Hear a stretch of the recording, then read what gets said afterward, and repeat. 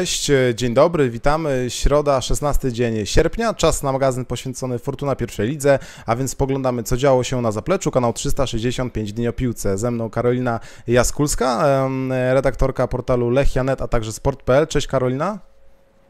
Dzień dobry wszystkim.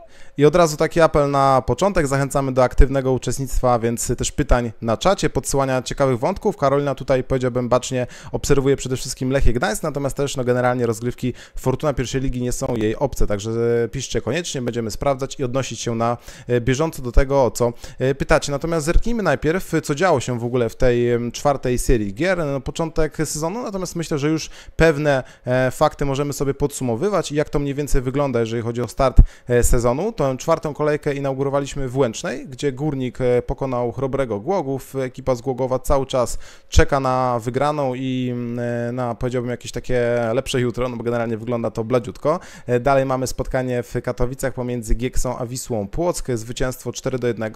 Odra Opole pokonała Podbeskidzie, identyczny wynik w Tychach, w takim powiedziałbym no hicie tamtej kolejki, a więc GKS Górą nad Wisłą Kraków. Sensacyjne zwycięstwo Resowi w Sosnowcu. Lechia Gdańsk z kolei wygrała ze Zniczem Pruszków i z pewnością o tym meczu będzie tutaj sporo. Natomiast później mamy konfrontację w Rzeszowie między Stalą a Arką Gdynia, no i tutaj wygrana Arkowców 3 do 2. Później mamy mecz w e, Niecieczy, gdzie Słoniki uległy motorowi Lublin. No i na samym końcu Polonia, Warszawa, Mieć Legnica, więc takie szalone spotkanie na zakończenie tej czwartej serii gier, gdzie oglądaliśmy aż 7 e, bramek. Na samym początku, zanim przejdziemy, powiedziałbym do konkretnych spotkań, chciałbym Cię Karolina zapytać, czy no już na tym początku początku sezonu. Można jakieś wnioski wysnuć? E, czy ty się zaskoczyłaś jakąś drużyną i czy generalnie to, co sobie zakładałaś albo przewidywałaś przed sezonem, znalazło potwierdzenie po tych czterech kolejkach? Na pewno po tych pierwszych czterech seriach gier zaskoczyła mnie forma GKS-u Tychy. E, no mamy cztery zwycięstwa, 12 punktów. To jest taki, można powiedzieć, wystrzał, bardzo dobry start sezonu, którego e, no, mało kto się w sumie spodziewał. Mało kto się też spodziewał, że Tychy przeciwstawią się Wiśle Kraków e, w tym, w tym tygodniu, chociaż patrząc na to, co, co dzieje się w Krakowie i jak ta Wisła faktycznie sobie radzi w ostatnich tygodniach, to może, może faktycznie nie jest to aż tak duże zaskoczenie. Natomiast e, tak, forma GKS-u Tychy na pewno jest takim zaskoczeniem e, in plus, można powiedzieć. Już pojawiają się też głosy wśród ekspertów, kibiców, że GKS Tychynowie za jakiś czas spuchnie i, i gdzieś tam skończy się ta ich dobra, dobra seria, dobra passa. Zobaczymy, jak to będzie, będzie wyglądało. Na pewno start mili obiecujący. Fajną pracę robi tam trener e, Dariusz Banasik, także, także myślę, że to jest taki najjaśniejszy punkt e, tych czterech kolejek, które za nami i przed startem rozgrywek ja osobiście się nie spodziewałam, że że Tyszanie będą, będą prowadzić. E, jest parę zaskoczeń też i minus. No, forma Wisły Kraków przywołanej przeze mnie.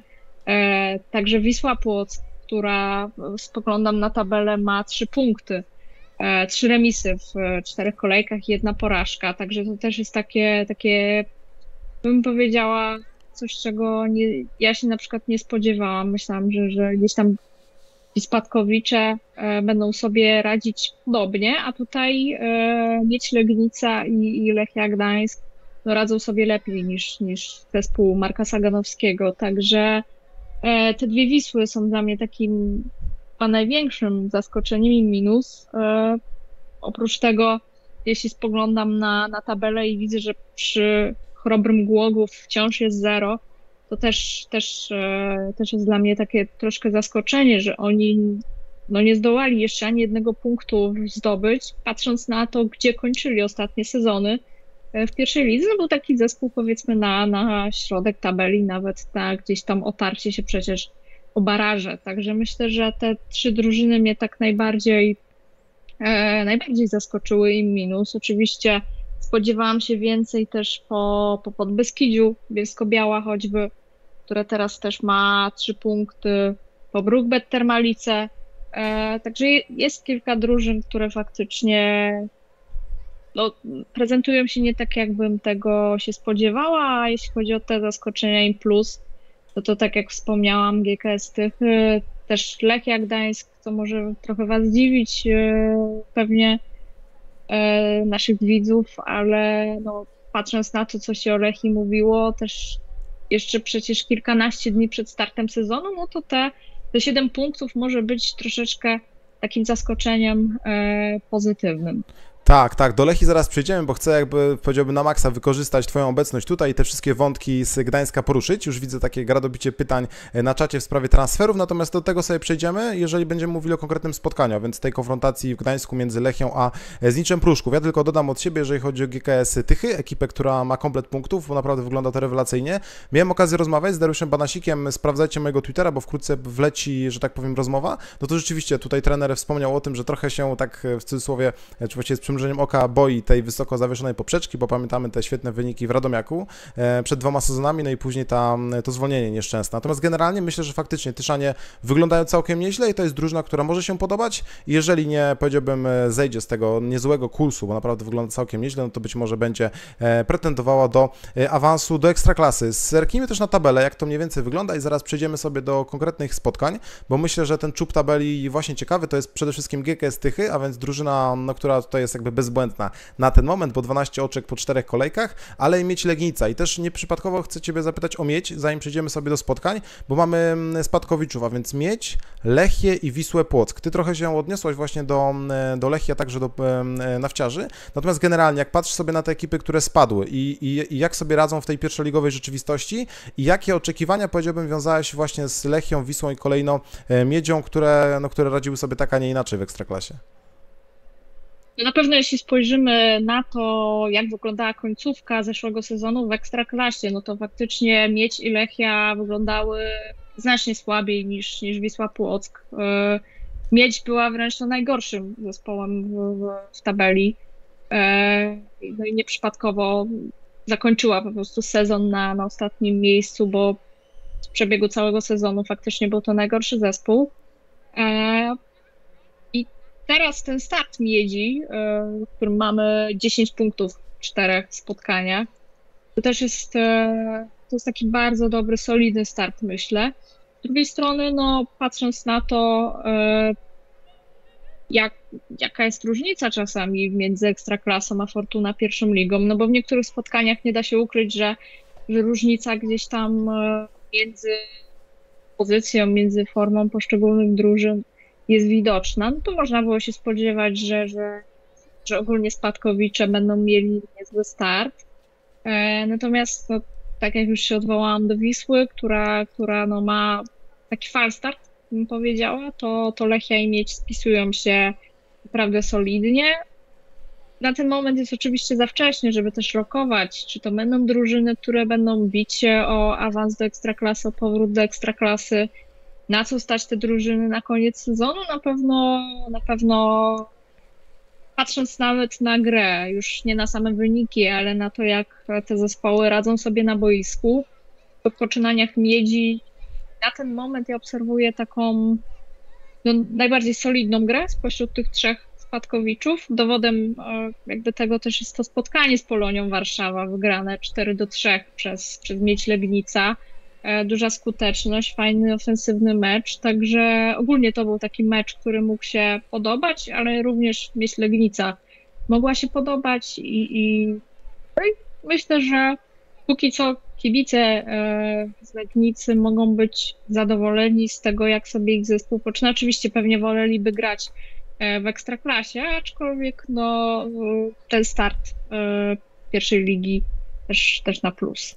Tak, tak, no myślę, że z perspektywy mieć Legnica takie, no nie wiem, czy to jest dobre hasło, ale polskie Fulham, dawniej było takie określenie na drużynę, która właśnie super sobie radzi w tych rozgrywkach, powiedziałbym szczebel niżej, natomiast no bladziutko to jest w tej najwyższej klasie rozgrywkowej, natomiast zaraz sobie też do pewnie tego spotkania Polonia mieć przyjdziemy, natomiast zerknijmy sobie generalnie jeszcze raz na tę kolejkę, no i myślę, że tak możemy chronologicznie przejść sobie przez tę większość spotkań. Zaczął od tego spotkania w Katowicach, gdzie to właśnie Wisła Płock poległa, odniosła się do tego dorobku punktowego, warto też dodać, że to były trzy remisy i co ciekawe, ciekawe, też y, no, myślę, że taka właśnie ciekawa historia. Wszystkie trzy remisy zakończone wynikiem 1 do 1, więc tutaj e, no, z in, powiedziałbym koniec tej pasy. Pewnie też nie do końca fortunnej, no bo wiadomo, że Wisła Płock nie chce co kolejkę remisować, natomiast porażka wysoka z ekipą z Katowic, ale chyba nie ma przypadku, jeżeli chodzi o tę grę. Zwłaszcza odwołuje się do tej gry defensywnej Wisły Płock, no bo te bramki, przynajmniej część tych bramek, no właściwie podarowana rywalom.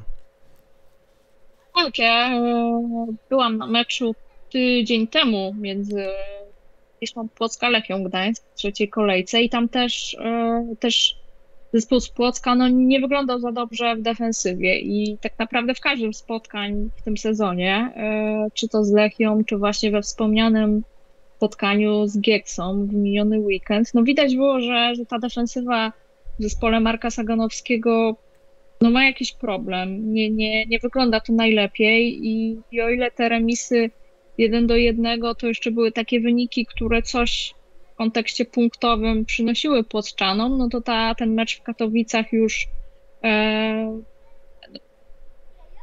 przyniósł im porażkę, pierwszą porażkę w tym sezonie. Natomiast był to najsłabszy mecz e, Wisły w, w tych rozgrywkach. No i też, jeśli spojrzymy na to, z jaką łatwością oni tracili nie tylko bramki, ale ogólnie z jaką łatwością Katowic, Katowiczanie dochodzili do sytuacji bramkowych, no to, to rzeczywiście nie ma przypadku w tej, w tej pozycji w tabeli Wisły Płock, po 15 miejsce, 3 punkty po trzech remisach, tak jak wspomniałeś, także no ta gra defensywna jest takim największym problemem w tej chwili w zespole pana Marka Saganowskiego. Te, oczywiście to nie jest też tak, że Wisła nie miała swoich szans na zwycięstwo, bo choćby w tym meczu z Lechią Gdańsk przed tygodniem e, oni strzelili bramkę na jeden do jednego kilka chwil po, po rozpoczęciu drugiej połowy i chwilkę później strzelili na dwa do jednego, ale bodajże spalony był, czy, czy faul, po prostu bramka została nieuznana, także oni też mieli swoje sytuacje, też mieli w tym spotkaniu szansę na zdobycie trzech punktów, jednak nie potrafili jej wykorzystać, w związku z czym no, jedno to defensywa, dwa to nie, nieumiejętność wykorzystywania swoich sytuacji, też taka rozsypka drużyny, rozsypka klubu i, i no i te pierwsze cztery kolejki to faktycznie takie zaskoczenie bardzo i minus. A szkoda, bo, bo też e, Wisła Płock przecież no to jest klub z dużym już e, stażem w ekstraklasie, ale także klub, który ma piękny stadion, którego będzie uroczyste otwarcie na początku września. Miasto wybudowało bardzo fajny obiekt, także no też Płock myślę jest takim miastem, które zasługuje na, na dobrą piłkę.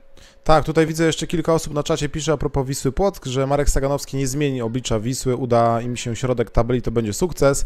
Ehm, drużyny Sagana tak właśnie grają, przypychają mecze jedną bramką, bądź remisują. No generalnie właśnie, bo to też się tak zastanawiałem jeszcze oglądając te ostatnie kolejki Ekstraklasy. Wiadomo, że Nawciarze to była ta ostatnia ekipa, która spadła, no bo de facto ostatnia kolejka minionego sezonu Ekstraklasy no sprawiła, że e, no ta degradacja jakby zajrzała w oczy drużynie z Płocka, no bo tam jeszcze Śląsk Wrocław był zamieszany, e, z tego co pamiętam. Natomiast właśnie, no mam wrażenie, że kurczę najgorzej wyglądają. Nawet nie chodzi mi o mm, jakby sytuację w tabeli, bo, bo tak patrzę sobie też na e, te drużyny, które spadły, a więc Miedź, która jest wysoko, a także no, Lchie Gdańsk, klub to bliski Twojemu sercu, no to wygląda to całkiem nieźle. Może nie super, ale przyzwoicie. I też chciałbym spojrzeć właśnie na ten mecz w Gdańsku ze Zniczem, no bo to było też takie spotkanie, gdzie naprawdę wynik się zgadzał, no bo tutaj myślę, że wszyscy w ciemno brali, bo oczywiście zwycięstwo. I generalnie ekipa Beniaminka, więc no też jakby murowany faworyt był jeden, natomiast to spotkanie, zwłaszcza jego końcówka, ta, ta no de facto nieuznana bramka dla rywali i generalnie pewne zachowania w defensywie dają dużo do myślenia i mogą być takim, no nie wiem, czy jakimś sygnałem alarmowym,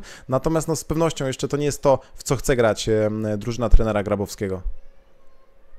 Zanim e, powiem o Lechi, to powiem też o Zniczu Pruszków, bo, bo przed rozpoczęciem meczu właśnie z Lechią Gdańsk zapytałam trenera Grabowskiego, czy jego zdaniem takim najpoważniejszym wyzwaniem dla piłkarzy Lechi będzie sforsowanie defensywy Znicza, który w pierwszych trzech meczach stracił tylko jedną bramkę. Trener Grabowski wyjaśnił mi, że no, to nie dzieje się z przypadku, że zespół trenera Misiury broni całym zespołem, rozpoczyna obronę od napastnika. I faktycznie oglądając to spotkanie w niedzielę, e, no, było widać, że jest to zespół lepiej poukładany w defensywie niż Lechia.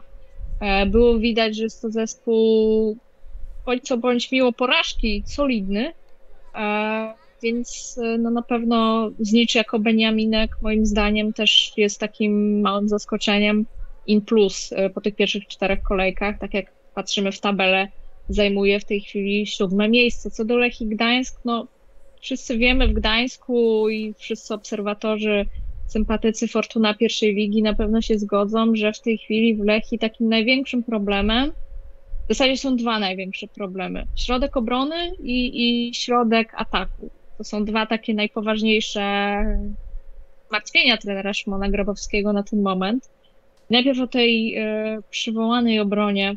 Faktycznie jeszcze tydzień temu, jakbyśmy rozmawiali, to bym powiedziała, że to jest e, no taki, taki, taka największa bolączka, nie tylko ze względu na grę, ale przede wszystkim ze względu na personalia, bowiem tydzień temu w Lechii był tylko jeden nominalny środkowy obrońca i w dodatku kontuzjowany, mowa o młodym Bartku Brylowskim.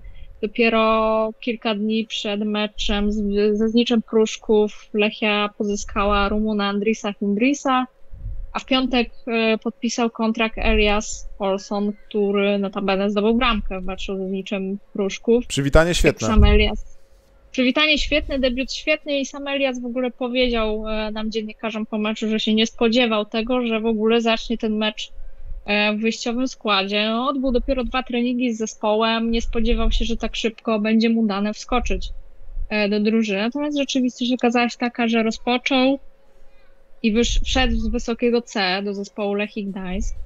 Natomiast to nie jest też tak, że to był debiut, w którym ustrzegł się całkowicie błędów i, i można by było go nazwać od razu drugim e, generałem, można powiedzieć, obrońcą tego, tego pola karnego, bo tak nie było. Każdy, kto oglądał mecz, widział, że, że, że to w defensywie w dalszym ciągu zdarzały się nieporozumienia, zdarzały się błędy. Znicz miał kilka takich sytuacji, które mógł wykorzystać. Natomiast Znicz też z minuty na minutę mam wrażenie, że troszeczkę słabł i no i po prostu po pierwszym kwadransie, po pierwszych 20 minutach e, po prostu zeszło z niego takie, takie ciśnienie i, i, i nie wyglądało to tak, tak już dobrze, że Lechia zaczęła stopniowo przejmować inicjatywę. Natomiast ta sytuacja z samej końcówki meczu, kiedy to no, po pierwsze fatalnie zachował się Bogdan Sarnawski, który niepotrzebnie moim zdaniem wyszedł do tej piłki. E, ukraiński bramkarz tej sytuacji popełnił e, błąd, bo być może gdyby nie wyszedł do tej piłki, nie doszłoby do tak groźnej sytuacji, która zakończyła się, się tym, że piłka wpadła do siatki na szczęście Lechi ta bramka została nieuznana. Tam e, bardzo duże nieporozumienie na linii Tomasz Neugebauer, a właśnie Elias. E, no i zakończyło się tym, że, że napastnik z Nicza wpakował piłkę do siatki. Natomiast no, Wojciech Myć e, dostał jakiś tam sygnał na war, że coś jest sprawdzane. Początkowo w zasadzie, przynajmniej my na trybunie prasowej też za bardzo nie wiedzieliśmy, kto tam jest sprawdzany, e, bo faktycznie nie była to tak klarowna sytuacja. Na szczęście, na szczęście dla Lechi, dla kibiców Lechi, piłkarzy Lechi, no był jakiś tam kontakt między napastnikiem a Tomaszem Neugebauerem i, i gdzieś tam ten gol nie został uznany, natomiast to nie usprawiedliwia tego zachowania i, i po prostu w przyszłości piłkarze Lechi muszą się ustrze ustrzegać takich błędów e, w defensywie. Z drugiej strony też wracając do tych problemów Lechii w defensywie, tak jak mówię, gra w wyjściowym składzie chłopak, który dopiero dwa dni wcześniej podpisał umowę z drużyną.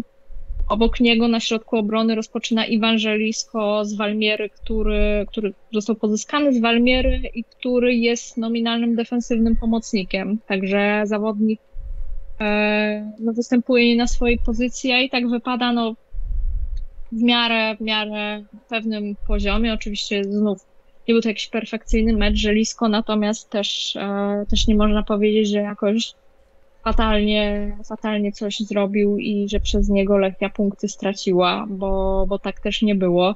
W drugiej połowie trener Grabowski decyduje się na cofnięcie Tomasza Neugebauera na środek obrony. Tomasz Neugebauer pierwsze trzy kolejki rozpoczął e, jako środkowy obrońca. Tutaj znów jest to defensywny pomocnik, chłopak, który ma olbrzymi potencjał, jeśli chodzi o, o no, taką grę e, w środku pola. Chłopak, który dysponuje świetnym dalekim podaniem, świetnym crossem, co też e, udowodnił, czy to w meczu w Płocku, czy, czy właśnie też przy okazji spotkania ze Zniczem Pruszków. Także ta defensywa Lechii jest jeszcze mocno osłabiona. W tej chwili mamy trzech środkowych obrońców składzie, z czego dwóch jest to gr do gry, bo wspomniany Bartek Brylowski jest, jest kontuzjowany. Także jest Żelisko, jest Olsen, jest Hindris i, i, i wiem, że toczą się rozmowy e, i na dniach możemy się spodziewać kolejnego środkowego obrońcy, no bo to nie może być tak, że, że, że Lechia cały sezon zagra z dwoma stoperami w składzie.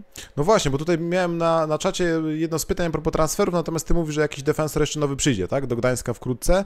Też mam pytania a propos tej końcówki w tym spotkaniu Lechia Znicz. Czy mm, był głośny ten huk, kiedy wszystkim spadł kamień serca? Mówię o sympatykach Lechi. Tak, by, było takie duże ów na stadionie w Gdańsku, bo faktycznie no, ta sytuacja była niedopuszczalna. My w pierwszej chwili nie wierzyliśmy, że w ogóle taki błąd takim piłkarzom, no, którzy grają już na pewnym poziomie, drugi poziom rozgrywkowy w Polsce to jest e, no to jest jakby już jakiś tam poziom, nie, piłkarski myśmy nie wierzyli, że no tak dali się ograć.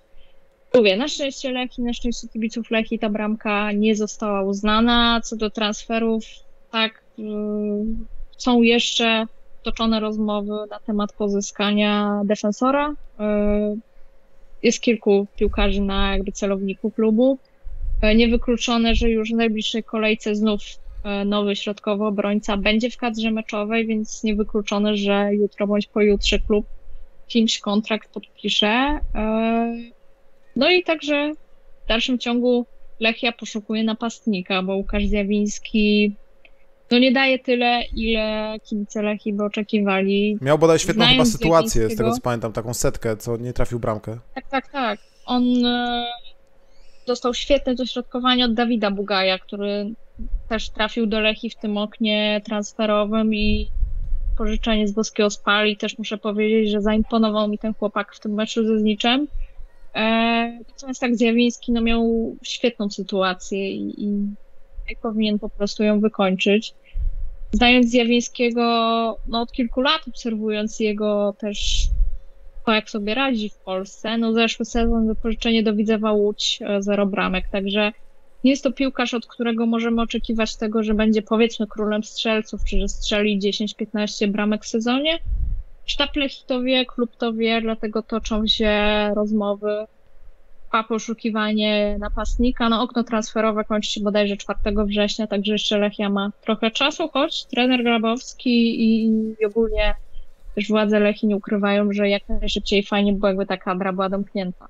No pewnie, no pewnie. No być może e, były snajper Lechi wkrótce będzie grał w Widze Mistrzów, także też no, kibice z Gdańska będą mogli śledzić poczynania e, z Wolińskiego we wtorki bądź środy, natomiast no zobaczymy, co w sprawie Rakowa Częstochowa. Chciałbym też się odnieść do, tej, do tego spotkania w Tychach, a więc mecz GKS-u Tychy z Wisłą Kraków, no bez pewnością to kolejna drużyna, która jest głodna, głodna tej ekstraklasy, no Biała Gwiazda ma problemy i to dość poważne. Myślę, że tutaj też mogę trochę dwa zdania, powiedziałbym, od siebie powiedzieć, z mojej, powiedziałbym, takiej krakowskiej perspektywy. No jest problem z grą, z defensywą, też z pomysłem na piłkę, no i słyszy się, nie chcę powiedzieć, że bardzo głośno czy wyraźnie, natomiast bardziej wśród kibiców, no jest taka narracja, że tutaj być może rozstrzygną się w najbliższych tygodniach, rozstrzygnie się ewentualna posada Radosława Sobolewskiego, to znaczy, no nie wiadomo, czy ten trener wkrótce pracy nie straci, no i w którą stronę idzie Wisła, jakby cytując ten e, słynny transparent na spotkaniu ze e, Stalą Rzeszów. Oglądałeś to spotkanie w Tychach? No generalnie mecz, w którym no Wisła wyglądała blado, natomiast też no nie sposób nie wspomnieć o tym rewelacyjnym zespole Dariusza Banasika, bo już mówiliśmy trochę o liderze Fortuna pierwszej ligi, natomiast e, no, jaka jest w ogóle Twoja opinia w sprawie Wisły Kraków, no bo wygląda to słabo, e, jeżeli chodzi o wyniki, styl gry, no i też chyba nie ma takich, powiedziałbym, perspektyw na to, że wkrótce będzie lepiej, że coś tutaj się zmieni, że, że, że wkrótce Wisła Kraków, no powiedziałbym, wyjdzie z takiego dołka i w końcu zacznie punktować na miarę oczekiwań. Ale to już wyglądało tak naprawdę pod koniec zeszłego sezonu. Ci, którzy śledzili gdzieś tam te powiedzmy rundę wiosenną, no widać było zauważalny spadek tej, tej formy Wisły Kraków. W zeszłym sezonie w Wiśle był co prawda jeszcze Luis Fernandez, który teraz strzela bramki już dla innej drużyny. E, natomiast tak, e, jest problem, jest rzeczywiście problem w, w Krakowie.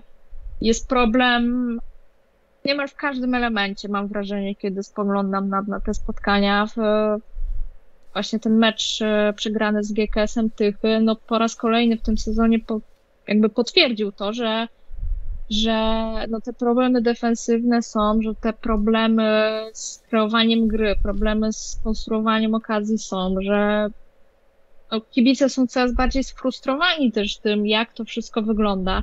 E, Wisła Kraków 5 punktów po czterech kolejkach. Także no nie jest to wynik, który zadowala fanów e, Białej Gwiazdy. I no i tak jak mówisz, no coraz więcej słyszy się gdzieś tam wśród fanów, że, że może trener Sobolewski nie jest odpowiednim człowiekiem na odpowiednim miejscu. No ja osobiście nie jestem jakby zwolennikiem zwalniania trenerów po czterech czy pięciu kolejkach. Myślę, że tutaj e, jeszcze pewnie parę tygodni. No inaczej myślą w Głogowie na pewno. dostać. No tak, to, to, to, to na pewno.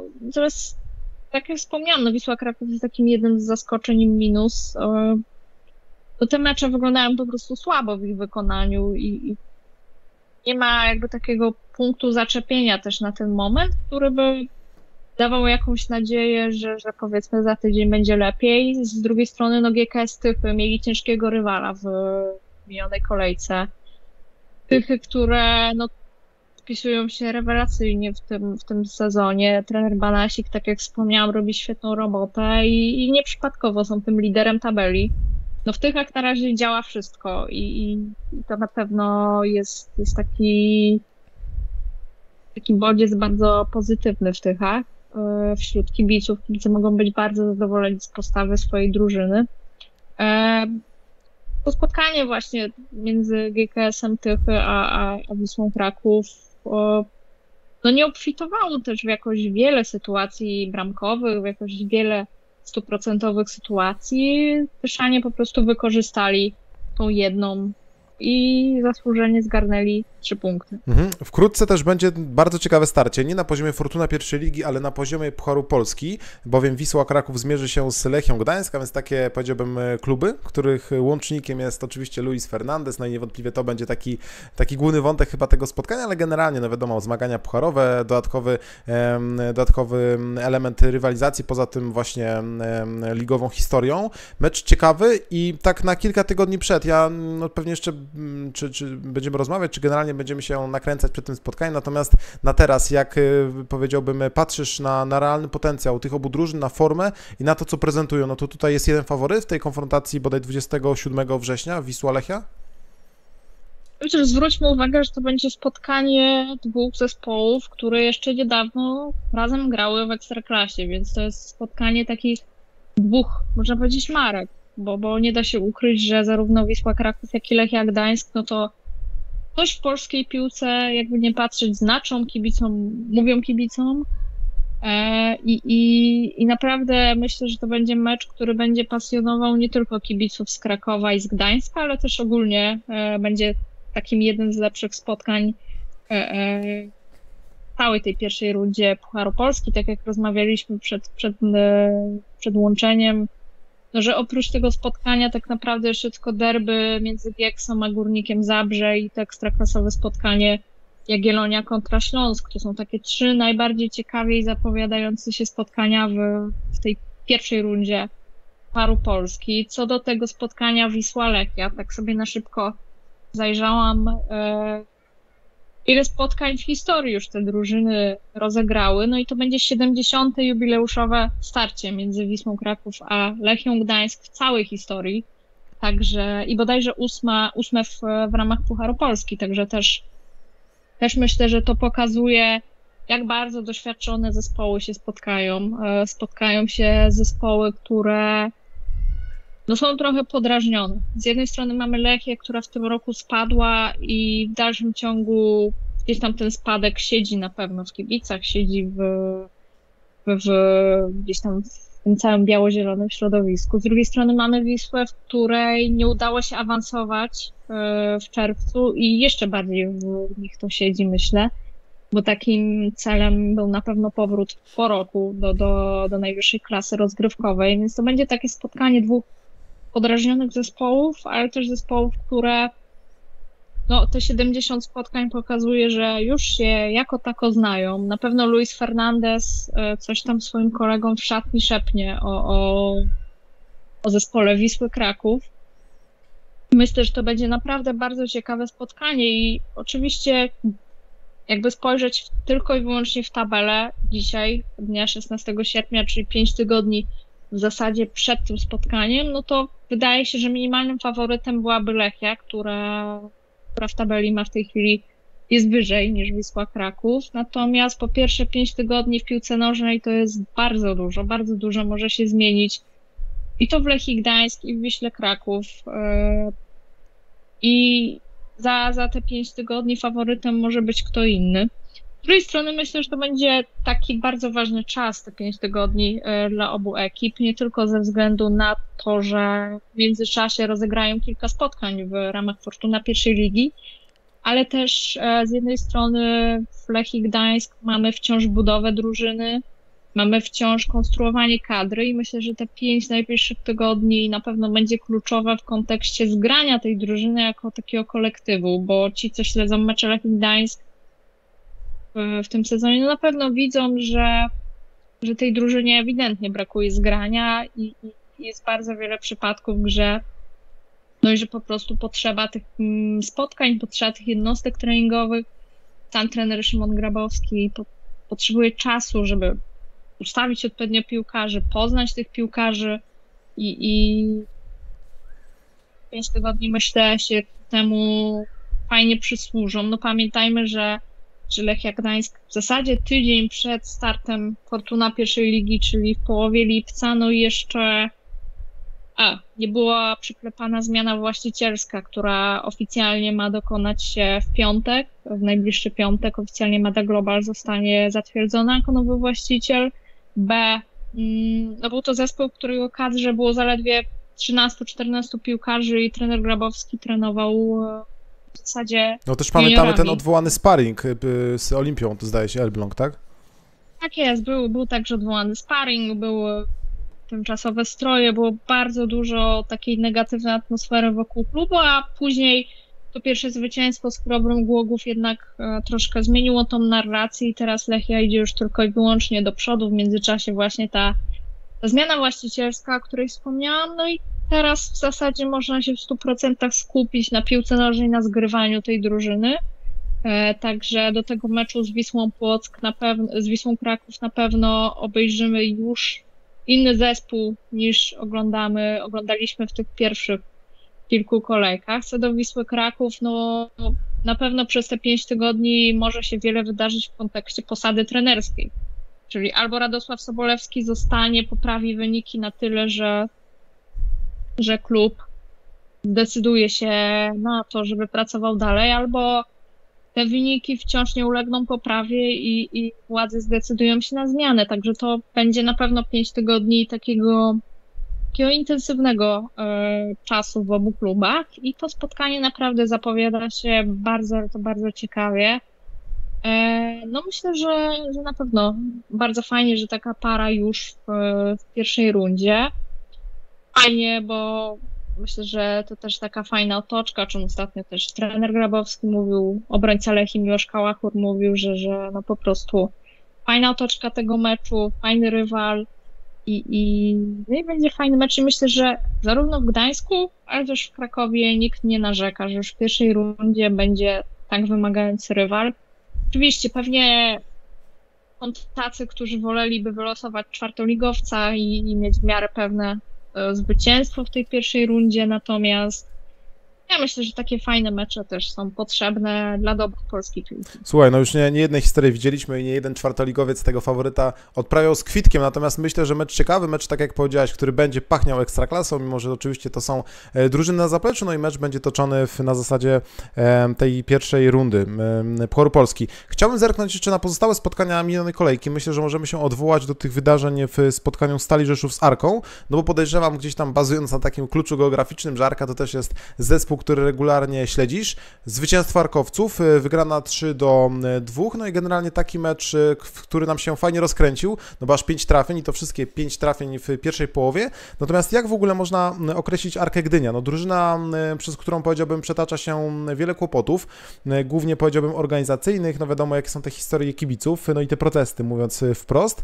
Natomiast drużyna, która twoim zdaniem radzi sobie przyzwoicie, dobrze, która znów może powalczyć o tę ekstraklasę. Pamiętaj, pamiętamy, że przed sezonem, e, bowiem jedną kolejkę przed końcem rundy zasadniczej, to właściwie Arkowcy wypisali się z tej walki o baraże. Tam z tego co pamiętam porażka ze Stalą Rzeszów. E, no mamy teraz też mecz ze Stalą Rzeszów, natomiast zwycięski. No jak generalnie e, byś opisała tę drużynę właśnie z Gdyni? Najpierw kilka słów właśnie o tu spotkaniu Stal Rzeszów Arka Gdynia. Ja przyznam szczerze, że nie spodziewałam się tak dobrej postawy Stali Rzeszów tym spotkaniu, bo po tych pierwszych trzech kolejkach jednak Stal wydawała mi się taką, e, no takim zespołem raczej e, do grania nawet dla Arki, która też nie miała e, jakiegoś super startu w ten sezon. Natomiast zaskoczyli mnie pozytywnie swoją postawą. Zagrali Zagrali ogólnie niezły mecz, to był, tak jak wspomniałeś, fajny mecz, fajnie się go oglądało, pięć trafień, więc czego chcieć więcej. Także Stal Rzeszów też w tym spotkaniu pokazała się z, z fajnej strony, choć dla, na nieszczęście dla nich nie zakończyło się to żadnym dorobkiem punktowym. Co do Arki Gdynia, powiem Ci szczerze, że to jest taki zespół, z którym e, no, ja osobiście mam problem, ale nie w takim sensie, że kibicowskim, że, że, że jakby mam problem, że ich nie lubię czy coś, ale mam problem ze zdefiniowaniem e, tego zespołu i jakby ja skupiam się w e, tym momencie wyłącznie na, na kwestiach boiskowych, bo kwestie kibicowskie to jest jakby kwestia drugorzędna. Kiedy oglądam sobie tą arkę, no to tak mam problem z, z, ze zdefiniowaniem o co ta drużyna walczy, czego ta drużyna chce. E, no, pamiętam tę końcówkę zeszłego sezonu, kiedy wiesz, tą Fortuna pierwszą ligę trochę mniej e, śledziłam, bo jeszcze, jeszcze Lechia grała wtedy w Ekstraklasie, ale faktycznie pamiętam tą, tą końcówkę, kiedy no kiedy Arce szło, już słabiej, kiedy Arka no, wypisałaś, tak jak wspomniałeś, z walki o te baraże.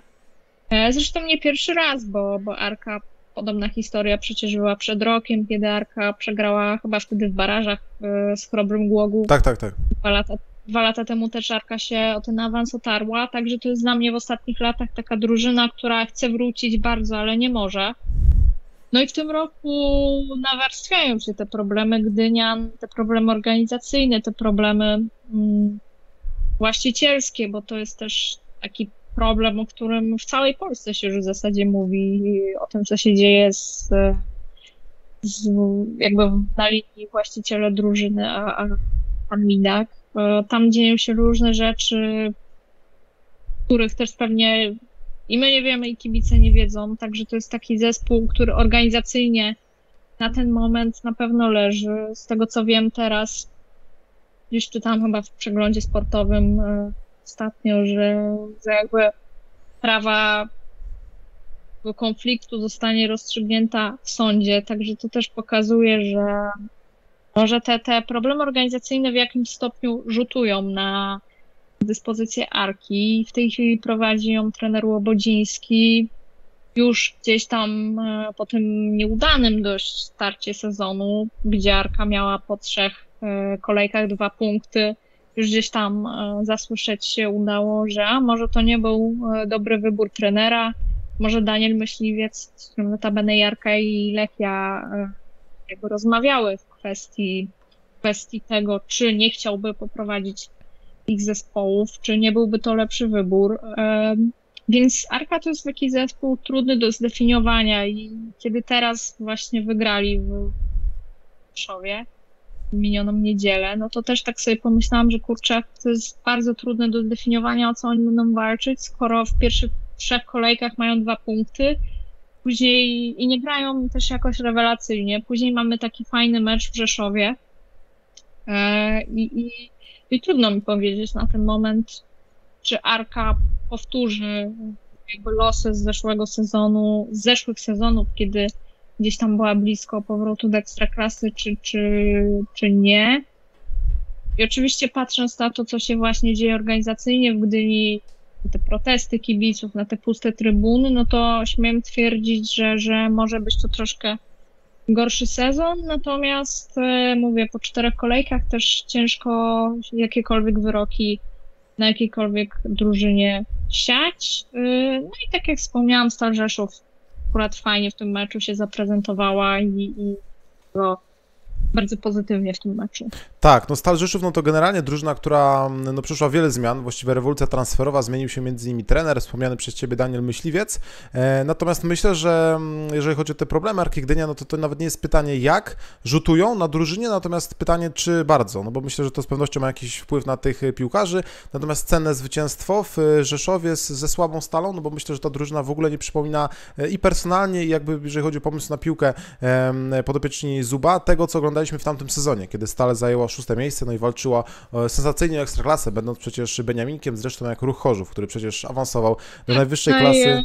Warto podkreślić, że świetną robotę robił trener Daniel Myśliwiec e, w Rzeszowie w ostatnich latach i kiedy bo zdecydował, zdecydowano się, że, że nie będzie kontynuował tej współpracy, to jakby gdzieś tam ten cały plan, można powiedzieć, plan na ten zespół runął i, i widać, że trener Zub, który chyba wrócił do Polski po, po kilku latach, tak? E, przerwy. No, jeszcze tego nie czuję. No tak, no generalnie trzeba powiedzieć, że trener Zup, no nie, nie chcę powiedzieć, że nie ma wyrobionej marki, natomiast no też nie idą za nim jakieś duże sukcesy. No jest to na pewno fajny, powiedziałbym, no nie wiem, czy tymczasowy trener, no nie chcę tutaj jakby nikogo deprecjonować, no chociażby ten remis w Krakowie z Wisłą, też z słabą Wisłą, natomiast no z pewnością Myśliwiec to jest taki trener, który, którego z pewnością wkrótce zobaczymy w, na ławce, nie wiem, czy w Ekstraklasie, czy w pierwszej lidze, ale no był e, łakomym kąskiem na rynku e, tym, e, tym transferowym. Dodam tylko, że Mariusz Sieracki, użytkownik, pisze, pierwszy raz widzę i słyszę E, tą panią. Jestem pod wrażeniem jej wiedzy. Pozdrawiam, również pozdrawiamy, lubimy takie e, komentarze. Chciałbym nasze takie, powiedziałbym, pierwszoligowe wojaże zakończyć w Niecieczy, bo jeszcze mamy jedenastki przygotowane, najlepsze jedenastki kolejki. Prosiłem Ciebie przed magazynem o, o przygotowanie takiego składu personalnego, więc jakby krótko opowiemy sobie jeszcze o tym meczu Brookbet Motor Lublin, no bo z pewnością, zwłaszcza drużyna gości, to jest drużyna, o której trzeba coś powiedzieć. E, podopieczni Gonzayo Fejo wyglądają świetnie. Nie chcę się chwalić, ale przed sezonem robiłem na kanale takie, powiedziałbym, zapowiedziowe materiały, gdzie mówiłem, że motor może sprawić sensację, nie tylko będąc czarnym koniem, tylko drużyną, która powalczy o awans do ekstraklasy. Jestem ciekaw Twoich, powiedziałbym, przewidywań przed sezonem, jak to może wyglądać, jeżeli chodzi o Beniaminka, no i jak generalnie radzi sobie teraz. E, jakbyś mogła tak dwa zdania o motorze, jak to wygląda, e, zerknijmy jeszcze na tabelę i tutaj widzimy, że ekipa właśnie z Lublina, trzecia lokata po tych czterech kolejkach. Muszę przyznać się szczerze, że tym spotkaniu barażowym y, o awans do pierwszej ligi między Stomilem a Olsztyna Motorem, no trzymałam trochę kciuki bardziej za Stomil, y, ale to tutaj jakby raczej wpływ miała właśnie bliskość geograficzna do Olsztyna, sympatii kibicowskiej i tak dalej. Natomiast y, no, Motor Lublin jest taką drużyną, która znów na początku sezonu zaskoczyła mnie no tak pozytywnie. Podobnie jak Znicz Pruszków, który też jest e, Beniaminkiem, też spisuje się na razie bardzo dobrze.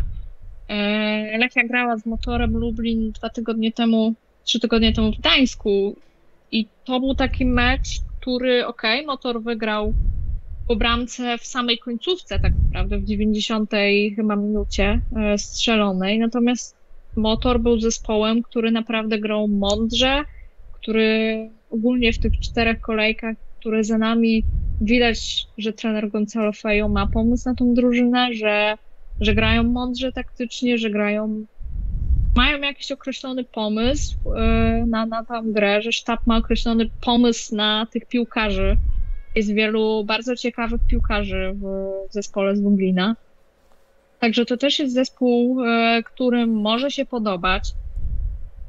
I no niewykluczone, że właśnie Motor Lublin będzie jednym z, z, właśnie takich czarnych koni tego sezonu, który być może gdzieś tam o ten awans e, do ekstraklasy się otrze. No Lublin e, jakby jest takim miastem, którym myślę, że ekstraklasa fajnie, fajnie by, by można powiedzieć pasowała się. Jest fajny obiekt.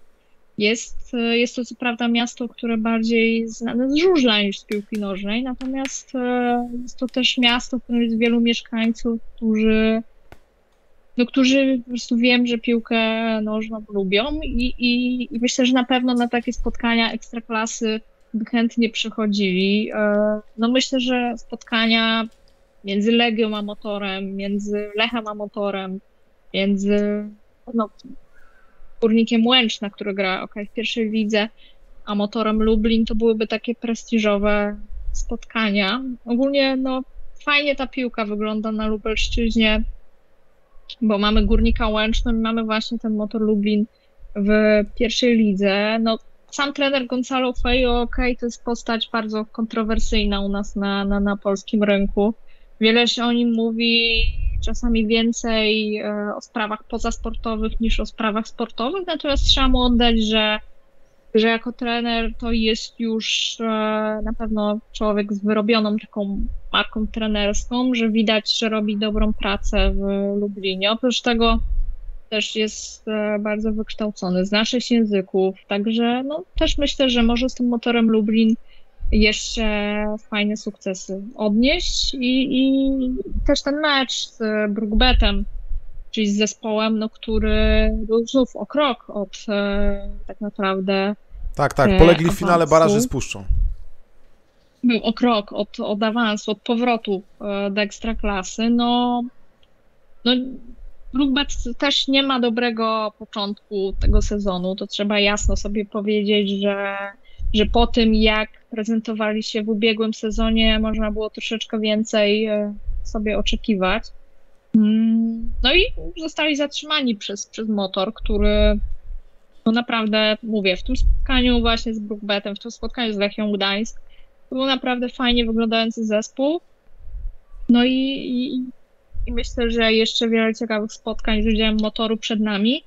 To jeszcze może zdanie o tym spotkaniu Polonia Warszawa mieć Legnica powiem, bo to był chyba taki mecz, e, w którym się nie spodziewałam takiego gradu, gradu goli, bo 7 bramek. Padało bramkami, na, na, tak, tak, tak.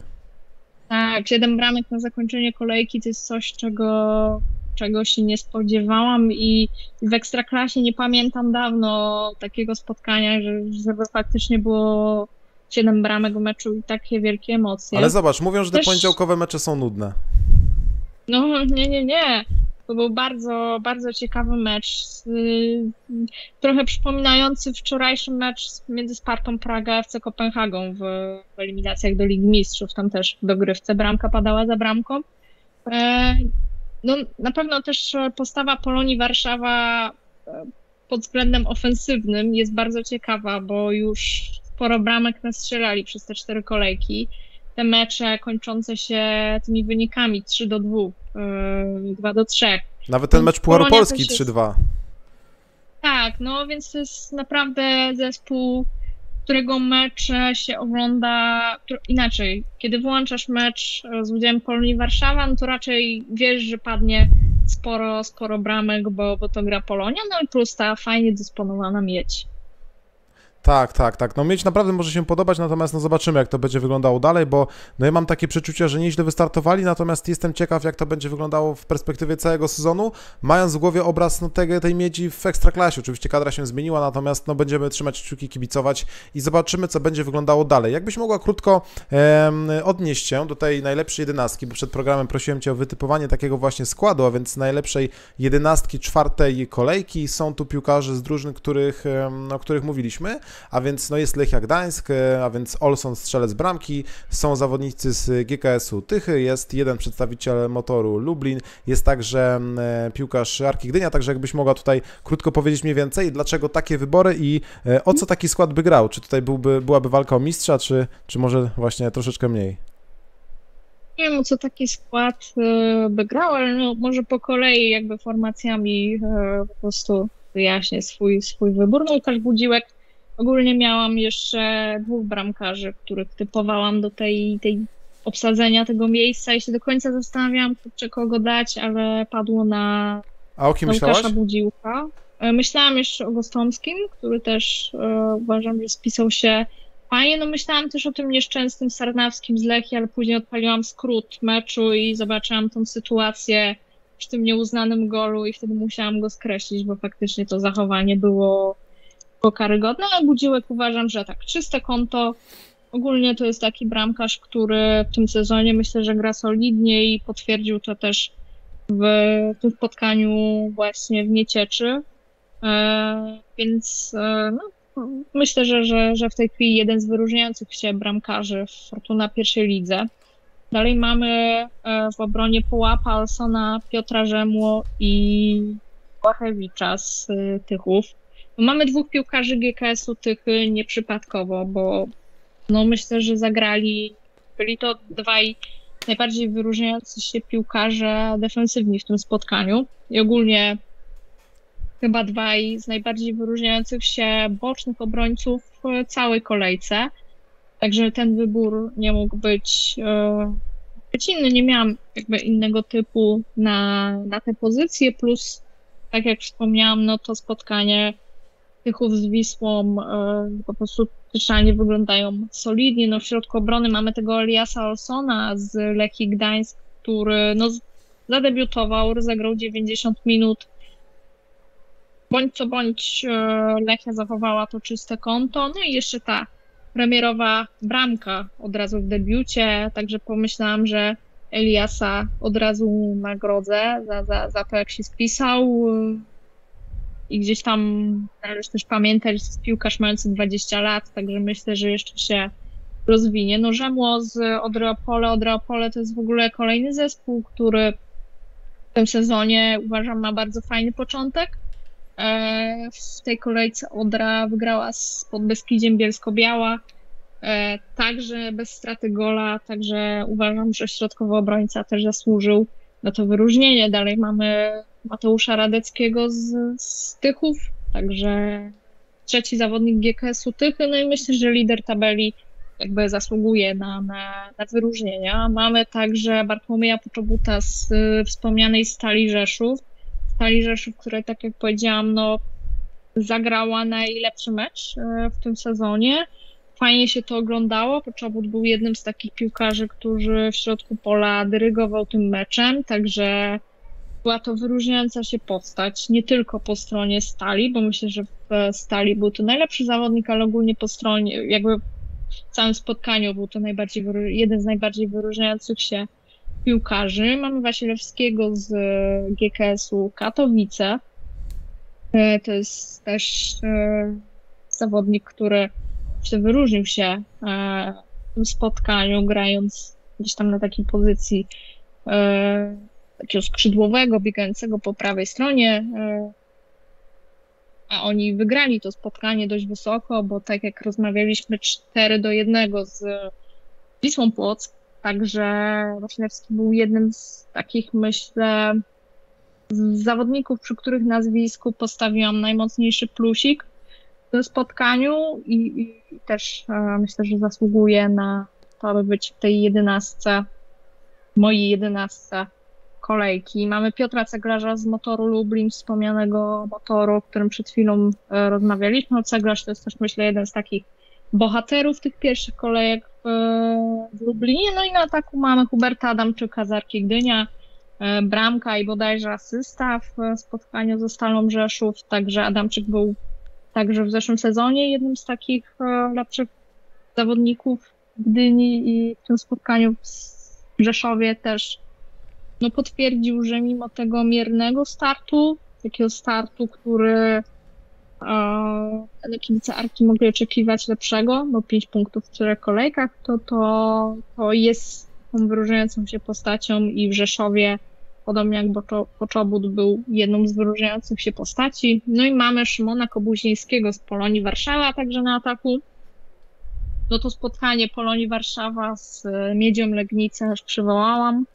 I Kobusiński był takim piłkarzem, który mi zaimponował w tym meczu. Mimo, że Polonia przegrała, to to naprawdę był to zawodnik, który no, zasłużył na, na wyróżnienie.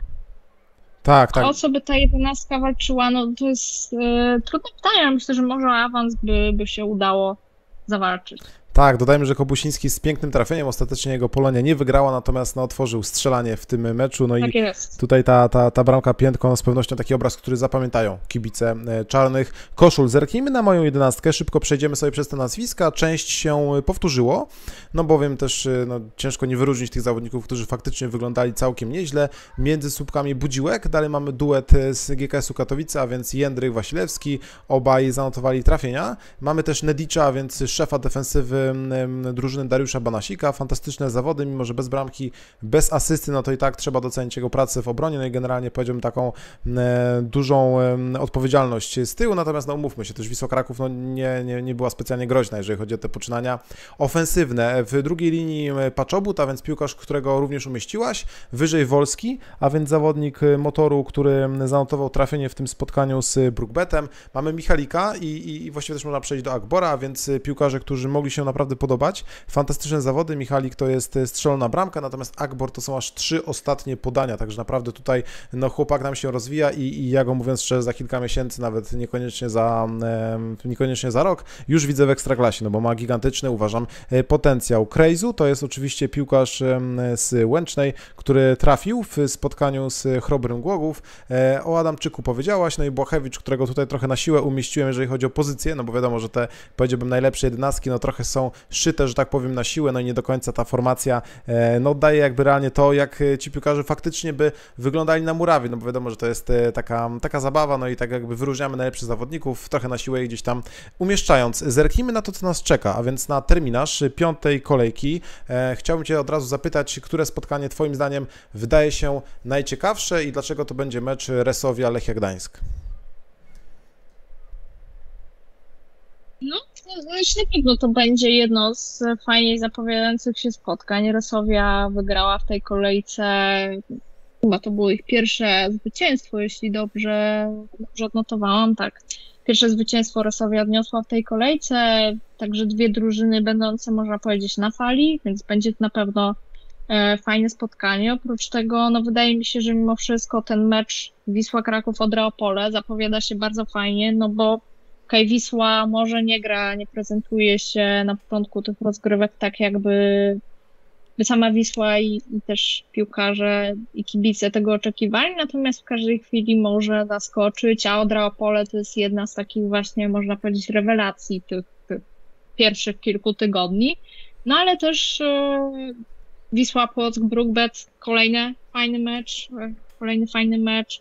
Wisła Płock także może zaskoczyć, też, też nie możemy tego wykluczyć. No i oczywiście derby e, między motorem Lublin a Górnikiem Łęczna, to spotkania derbowe jakby charakteryzują się czymś takim, że nawet jak grają dwie słabe drużyny, to jest taki taki, no taka nutka, taka pikanteria związana z tym, że, że może to być e, ciekawe spotkanie. Także no, będzie wiele ciekawych spotkań w, w tej kolejce. Ogólnie ten sezon tak się nam ułożył, że jest tyle ciekawych drużyn w Fortuna pierwszej lidze, że w każdej kolejce tak cztery, trzy, cztery spotkania co najmniej to są takie bardzo, bardzo ciekawe mecze i, i, i każdego dnia jest co oglądać. No i, i fajnie, bo momentami są to mecze ciekawsze nawet niż na, na najwyższym szczeblu.